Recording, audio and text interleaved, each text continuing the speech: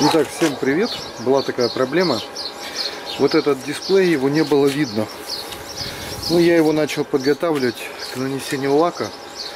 Сейчас уже э, сложно, но разглядеть можно то, что на цифровом дисплее, и даже стрелку видно. Хотя еще два года назад я вот это все видел в оранжевом цвете. Я даже не знаю, как вам рассказать и показать.